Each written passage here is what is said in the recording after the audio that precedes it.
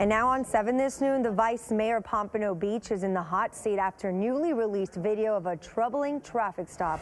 7's Vanessa Medina is in Fort Lauderdale with those details. Vanessa. That's right. That vice mayor accused of some bad behavior. And according to the Fraternal Order of Police, no one is above the law and that officers should be commended. I'm Vice Beverly Perkins from the city of Pompano Beach. Okay. Y'all need to find something. Okay. It's a vulgar exchange caught on body camera involving Pompano Beach Vice Mayor Beverly Perkins and a Fort Lauderdale cop. What's going on tonight? The routine traffic stop happened in April, but now the interaction is going viral.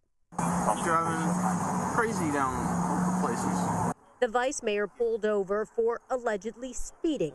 The officer asks for her license, goes to his car, and returns to issue her a warning.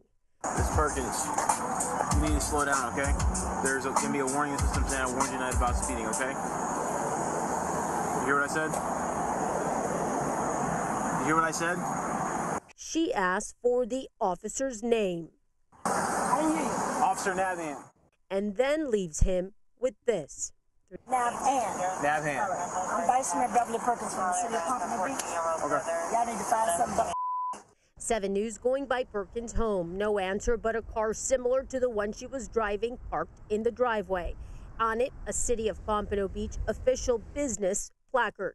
In the meantime, Fort Lauderdale's Fraternal Order of Police commending the officer for his respect and professionalism. So we tried reaching out to the vice mayor. We've emailed and have yet to receive a comment. We've also reached out to the city of Pompano Beach to see if they would comment on the vice mayor's behavior, and they said they do not comment on the behavior of elected officials. Reporting live in Pompano Beach this noon, Vanessa Medina, 7 News.